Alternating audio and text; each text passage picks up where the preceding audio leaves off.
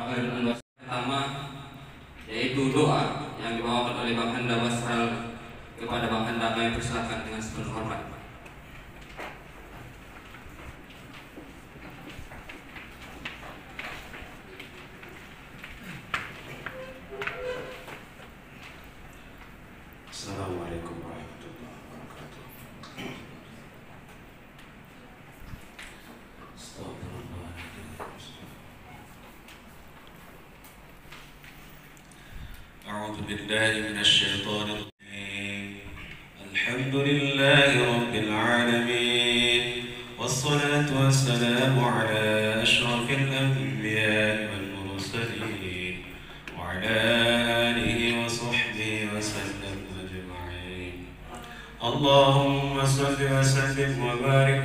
سيدنا محمد طب القلوب ودوائها وعافية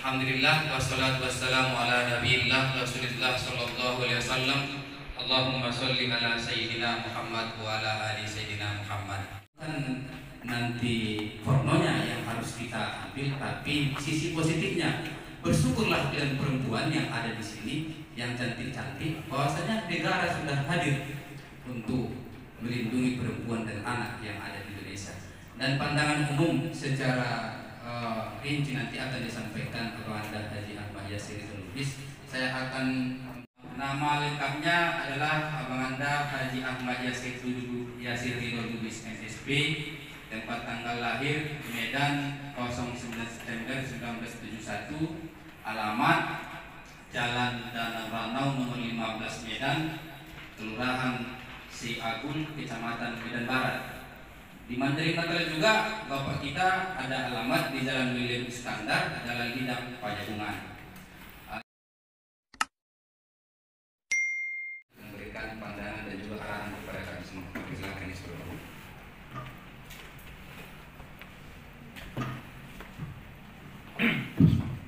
Bismillahirrahmanirrahim. Assalamualaikum warahmatullahi wabarakatuh.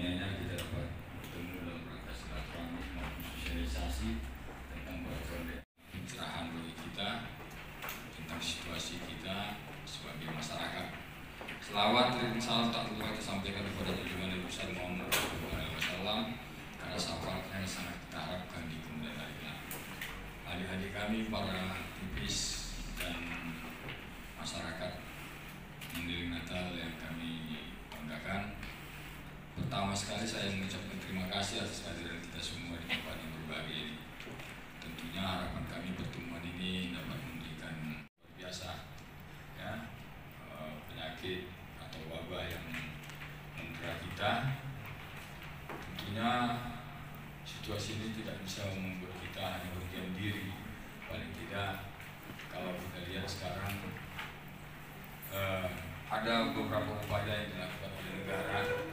Saya juga berharap kepada kita semua untuk bisa mengakomodirnya, mengadopsinya. Misalnya seperti vaksin. ya. Vaksin itu harus kita lakukan. Kalau kita mau berlepas dari persoalan penyakit COVID ini, ya, saya ingin menyampaikan kepada kita semua hanya dua jalan untuk menyelesaikan COVID ini. Pertama vaksin, kedua menjaga prokes. Ya, prokes ini kita menggunakan masker, menjaga jarak dan lain-lain. Tentunya ini kan sangat sulit dilakukan oleh kita. Mereka sudah melakukan vaksin. Coba lihat di Mekah. Kenapa orang tidak ada di Mekah sana? Orang Indonesia di dalam Mekah. Bukan pemerintahnya yang nggak mau. Pemerintah Arab Saudi tidak mau memberikan izin. Kenapa orang Indonesia tidak vaksin? Nah, itu. Kalau mau naik haji, orang tua kita atau kita mau cepat bisa berangkat haji ya vaksin. Tidak ada jalan.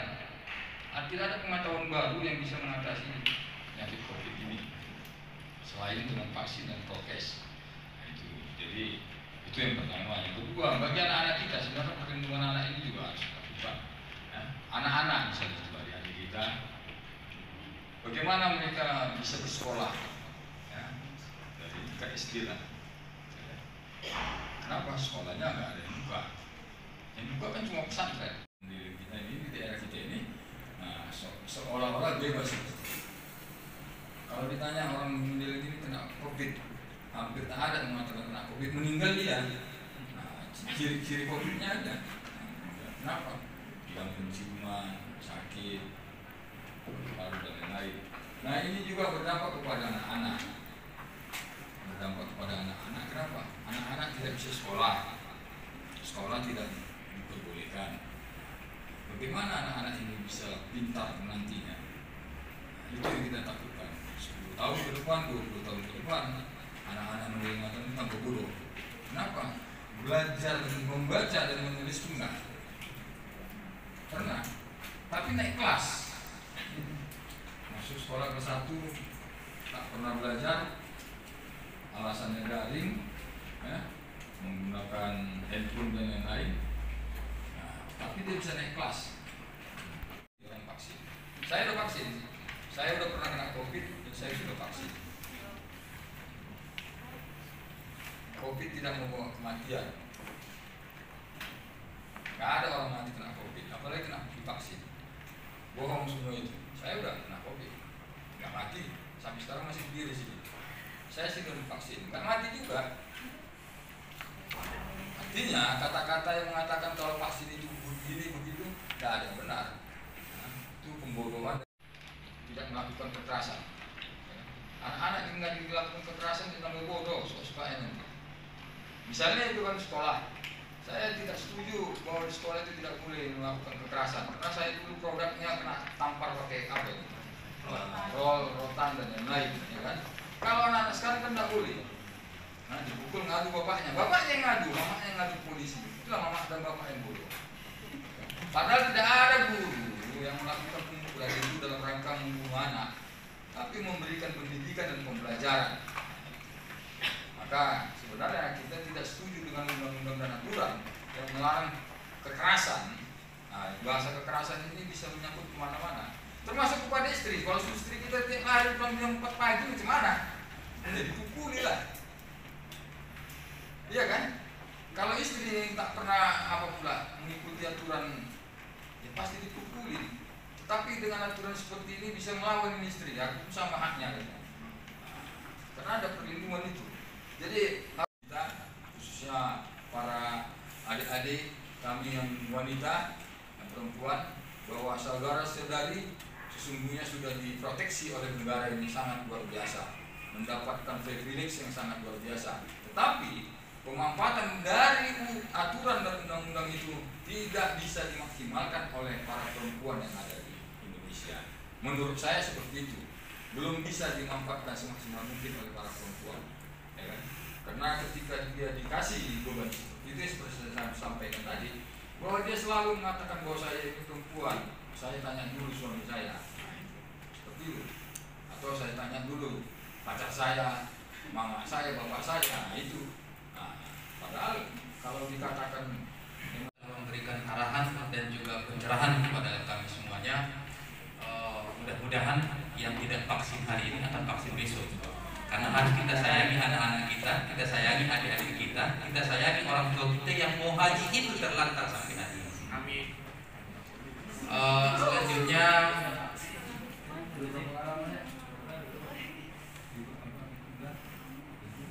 haji udah berapa lama ini? Udah berapa tahun? Dua tahun.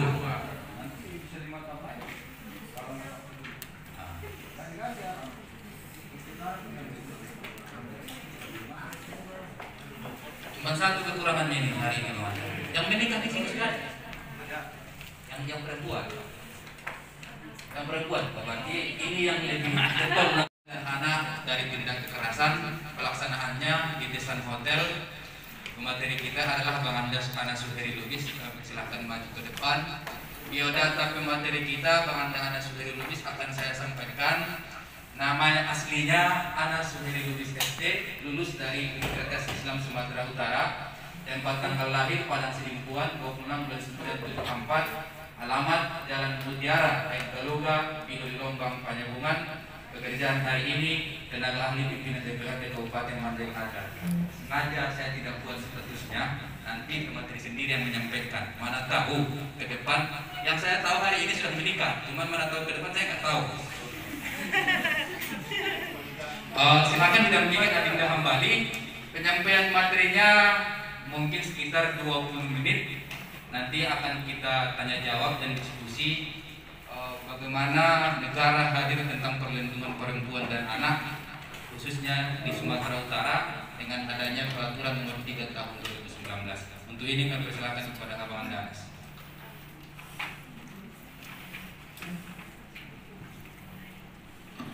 Terima kasih saudara Assalamualaikum warahmatullahi wabarakatuh. Yang kami hormati Pengantar Haji Ahmad Yasri Lubis BSB uh, Yang kembali Tidak bosan-bosannya memberikan Transformasi pengetahuan Tentang perda kepada masyarakat Kabupaten Mandailing Natal yang mudah-mudahan nantinya bermanfaat bagi masyarakat kita dalam kehidupan sehari-hari. Sesuai dengan materi eh, terkait Perda nomor 3 tentang perlindungan perempuan dan anak sebenarnya dilatar belakangi oleh banyaknya kasus-kasus kekerasan yang terjadi eh, pada perempuan dan anak-anak. Yang latar belakangnya umumnya adalah cara pandang masyarakat terhadap keberadaan perempuan. Adanya stereotip bahwa perempuan itu makhluk yang lemah tidak bisa berbuat apa-apa. Eh, ditambah dengan faktor-faktor budaya yang kadang-kadang menempatkan perempuan pada kelas 2 padahal dalam Islam perempuan ditempatkan dalam posisi yang sangat mulia bahkan begitu mulianya sehingga ada beberapa ayat yang khusus membahas tentang perempuan itu jadi begitu juga dengan anak sering terjadi kekerasan terhadap anak disebabkan cara pandang orang tua bahwa anak itu adalah hak milik milik mereka yang dengan yang tak punya hak apa pun diarahkan ke mana Dibagaimanakan merupakan sebuah yang kewajaran. Jadi bercermin dari begitu banyaknya perempuan anak-anak pasca reformasi perubahan pemerintahan dari Orde Baru ke eh, fase berikutnya kelompok-kelompok pemerhati perempuan, aktivis-aktivis perempuan waktu itu secara gencar melakukan upaya agar dibuat sebuah peraturan khusus terkait perempuan. Saat itu pemerintahan ini dan ini ditandatangani oleh Presiden. Peraturan inilah menjadi cikal bakal adanya eh, apa namanya perlakuan perlakuan khusus oleh negara terhadap perempuan turunnya Kepmen, Perda dan sebagainya. Artinya bahwa eh, pada saat ini perempuan dan anak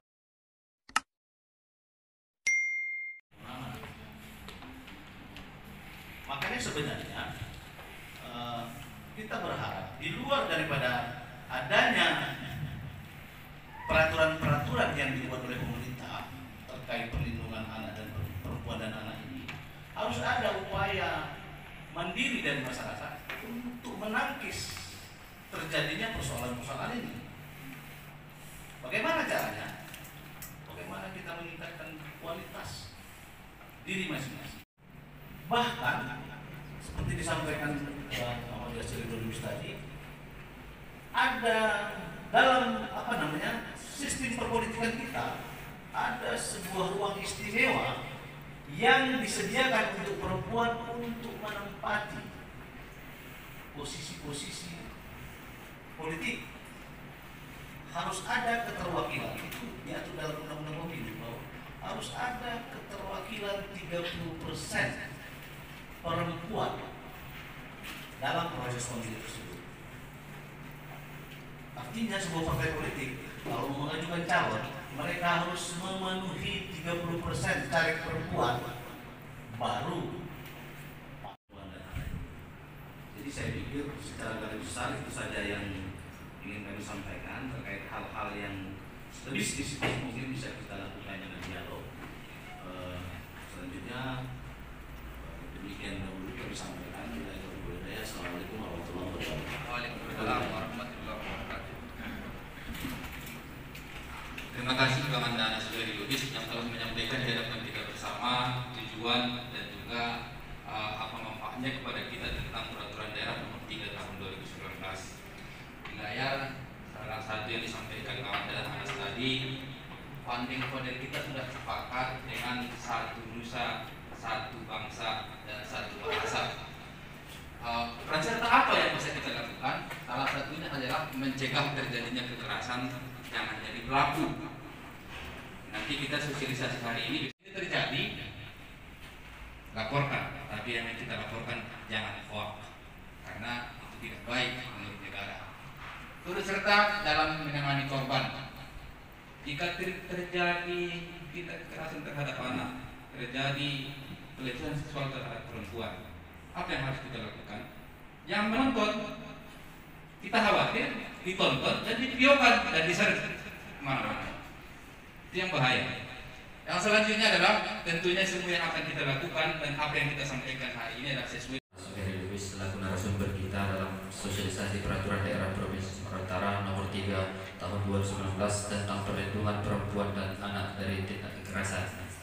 Ya, sebenarnya negara seperti yang dibilang Abang Anda tadi, Abang Ferry Lubis, negara memberikan keistimewaan terhadap perempuan. Contoh contohnya Kalau saya Ismail, alamat Abu Barak. Saya dari organisasi NNB Kabupaten Mandiri Nata. Saya mau bertanya, hak perempuan dan anak tindak kekerasan, apa haknya? Terima kasih. kasih penyiaran Islam.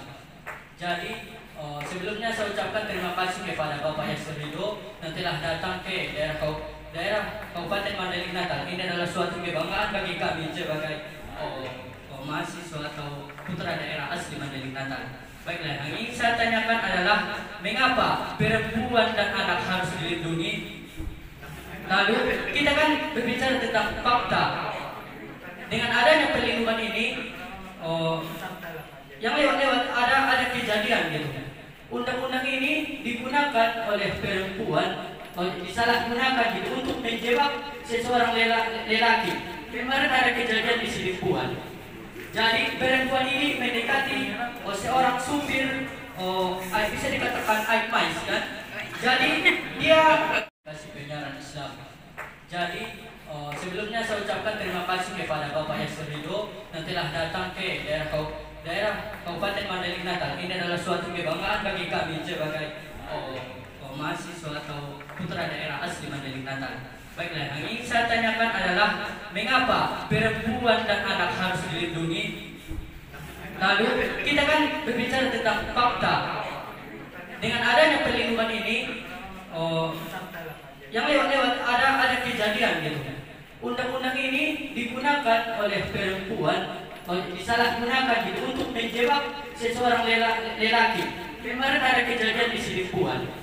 Jadi perempuan ini mendekati oh, seorang supir oh, bisa dikatakan Aikmais kan.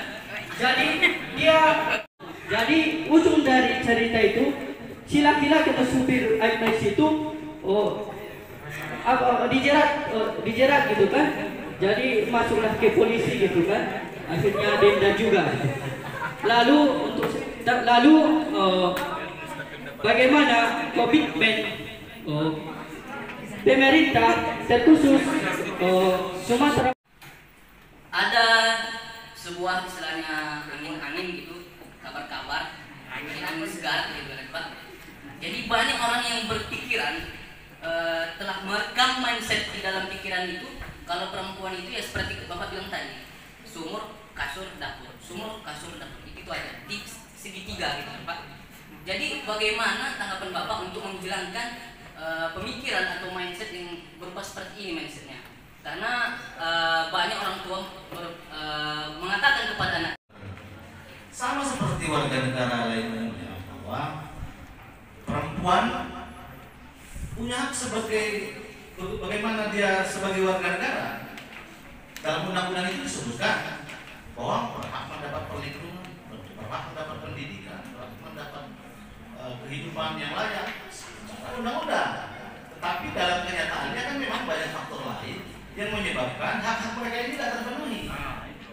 Tetapi juga bukan hanya perempuan ini laki-laki rupanya hanya yang belum terpenuhi. Karena banyak faktor.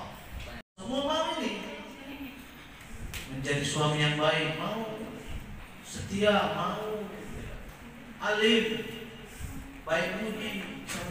tapi ketika itu maka seperti saya kembalikan eh, saya jawab di awal tadi maka kepada para perempuan jangan betul eh, apanya jangan pernah perlihatkan kebodohan dan kelemahan anda jangan kemudian memberi ruang untuk anda dilecehkan maka saya sangat bangga kepada adik-adik yang hadir hari ini tidak satu pun dengan apa membuat memakai pakaian yang membuat mereka bisa direndahkan. Mereka memakai pakaian syar'i yang menjunjung tinggi harkat martabat mereka. Ini sebenarnya apa yang dilakukan kalian ini sudah menjadi salah satu upaya mengurangi beban pemerintah mengatasi persoalan-persoalan yang terjadi di bangsa ini. Karena persoalan di bangsa ini sangat kompleks. Bukan hanya persoalan kemiskinan, kekerasan, penyelundupan dan sebagainya. Banyak persoalan yang menjadi tugas negara dan masyarakat. Kan ini menjadi hal yang sangat apa namanya? Dilematis lah pemerintah. Jadi kembali jangan kemudian kita jangan mengajak diri kita berpikir bahwa semua hal akan diselesaikan pemerintah karena aturannya jelas undang-undang dasar negara Republik Indonesia segala macam segala macam mengeksekusinya itu nggak mudah Contohnya tadi termasuk perdagangan manusia. Jadi kalau seumpamanya perdagangan manusia ini perempuan khususnya, kalau si perempuan yang korban, si perempuan juga juga bagaimana dengan penjelasan yang seperti itu saya ingin tahu. Terus kebetulan saya profesinya sebagai guru Katanya di sini perlindungan anak. Kalau seumpamanya perempuan juga yang menganiaya si anak, yang menghukum si anak, nyatanya yang mengadukan juga si perempuan. Jadi ini intinya perempuan ke perempuan. Istilahnya kalau sekarang di sosmed perempuan sama perempuan. Sementara yang kita lindungi perempuan kan gitu. Jadi intinya bagaimana dengan uh, yang yang yang mengawali seperempuan, yang yang mengunjungi cerita juga seperempuan. Jadi kebetulan tadi saya Makanya tadi kami sampaikan, apa peran kita sebagai masyarakat untuk melindungi perempuan dan anak dari tindak kekerasan? Peran kita adalah memulai dari sendiri-sendiri. Ini sudah sering saya sampaikan. Ibda bin nafsi. Mulailah dari diri sendiri. Jika terjadi kemungkaran ataupun kekerasan itu di lingkungan dan di daerah kita, yang pertama, cegah dan laporkan kepada pihak yang berwajib. Jika pihak berwajib juga tidak bisa melakukannya, mulai dari diri kita sendiri. Hadis juga menyampaikan, man ro'a minkum munkar falyastatik biyadi.